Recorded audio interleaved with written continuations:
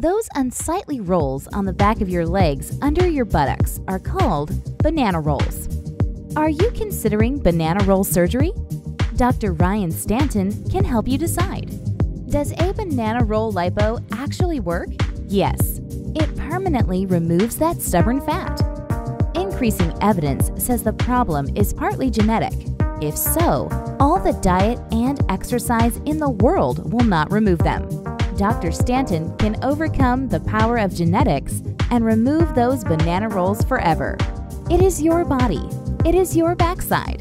If you want to look better and feel better about how you look, Dr. Stanton is ready to help.